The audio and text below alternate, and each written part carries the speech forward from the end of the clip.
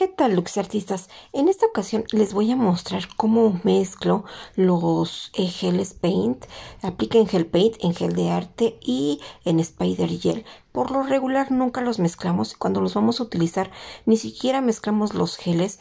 Y eso pues no nos da una pigmentación óptima. Por lo regular los y si los mezclamos lo hacemos con un pincel de silicón, con el mismo liner y eso pues maltrata eh, los pelitos del liner, lo voy a hacer, yo lo realizo de esta forma, con un palillito, con estos palillos mondadientes y pues vamos a realizarlo eh, con movimientos circulares y girando poco a poco para ir mezclando los colores. Vamos observando que realmente hasta el color cambia porque los pigmentos se están uniendo con todos los, pues, los componentes de este gel paint, en este caso es un gel paint.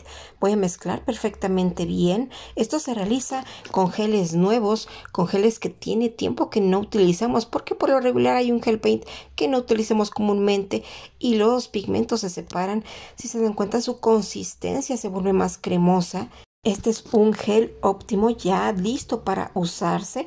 Voy a quitar los excesos del palillo para que pues observemos que no desperdiciemos producto al mezclarlo, cosa que sí hacemos si lo mezclamos con algún puntero, con algún otro liner, eh, con otro con otro otra herramienta que no sea tan tan delgadita como un palillito y lo limpiamos perfectamente bien y no desperdiciamos. Aquí voy a hacer un ejemplo tomando un poquito de gel con este pincel de silicón como si fuera a hacer algún diseñito.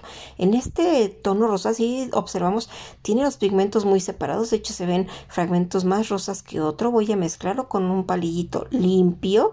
Voy a darle esos movimientos circulares. Voy a mezclarlo perfectamente bien. Y pues observamos que hasta el tono rosa de verdad cambia porque sus pigmentos empiezan a mezclar perfecto porque la consistencia del gel empieza a ser la óptima y esto nos garantiza que al utilizarlo pues realmente podamos usarlo como es correcto. Hay veces que pensamos que nuestro gel paint, nuestro gel de arte o nuestro spider gel no tiene la, eh, la consistencia que, que nosotros requerimos, pero es que es debido al no mezclar los componentes de, del gel y pues así garantizamos que lo utilizamos correctamente bien, que tenemos un buen gel paint, un buen gel de arte, un buen eh, spider gel y que podemos utilizarlo con toda la confianza. Esto realmente se realiza eh, cada vez que vamos a usar un gel paint un gel de arte, un spider gel. De hecho, en mi canal de YouTube Luxiar Nails tengo una clase gratuita de cómo utilizar el Spider Gel y ahí también les comparto